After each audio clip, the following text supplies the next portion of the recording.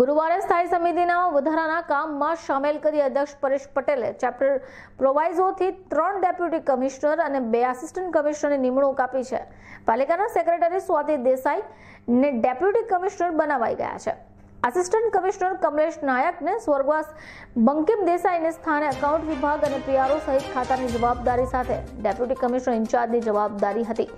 તેમને deputy commissioner તરીકે નિમણૂક કરાઈ ગઈ છે, પરંતુ યુસીડી સેન્ટ્રલ ઝોનના આસિસ્ટન્ટ કમિશનર ગાયત્રીબેન જરીવાલાને પણ અગાઉ આસિસ્ટન્ટ કમિશનર કમલેશ નાયક સાથે ઇન્ચાર્જ ડેપ્યુટી કમિશનરનો ચાર્જ સોંપાયો હતો. પરંતુ તેમને હાલ બાકાત રાખતા ચર્ચા ચકડોળે ચડી છે. તો ત્રીજા ડેપ્યુટી કમિશનર તરીકે લિંબાયત ઝોનમાં આસિસ્ટન્ટ કમિશનર એચ વી ખિનકાબવાલાને પણ ડેપ્યુટી કમિશનર બનાવવાનો નિર્ણય કરાયો છે. આસિસ્ટન્ટ કમિશનરની ખાલી જગ્યાઓ પર પર્સનલ ઓફિસર તરીકે ફરજ બજાવતા ડિક્સન માઇકલ ક્રિશ્ચિયન તેમજ રાંદેર ઝોનમાં આસિસ્ટન્ટ કમિશનરનો ચાર્જ સંભાળતા બાબુરાવ મોરેને ચેપ્ટર ત્રણની કલમ બેના પ્રોવાઇઝો હેઠળ આસિસ્ટન્ટ કમિશનર બનાવાઈ ગયા છે.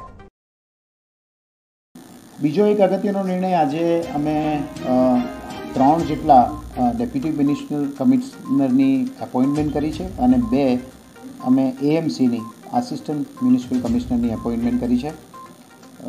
અમારા ઝોનોમાં ઇન્ચાર્જ તરીકે ઘણા બધા અધિકારીઓને અમે કામે લીધા છે.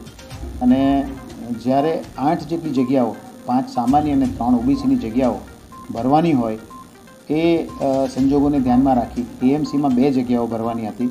એમાંથી અમે આજે ત્રણ ડીએમસીની જગ્યા ભરી છે, જેમાં હર્ષદકુમાર હર્ષદ કુમાર વિઠ્ઠલદાસ કિનખાબવાલા ઉપરાંત અમારા બીજા કમલેશ કુમાર ભીગુભાઈ નાયક અને ત્રીજા મેમ્બર તરીકે શ્રીમતી સ્વાતિ પરેશકુમાર દેસાઈને ડેપ્યુટી મ્યુનિસિપલ કમિશનર તરીકે એમની આજે સામાન્ય સભાની મંજૂરીની અપેક્ષાએ મંજૂરી આપી છે અને આસિસ્ટન્ટ મ્યુનિસિપલ કમિશનર તરીકે અમે બે મિત્રોના નામો આજે જાહેર કર્યા છે. એક છે શ્રી દિક્સન માઇકલ ક્રિશ્ચન અને બીજા છે બાબુરાવ બાલુ મોરે.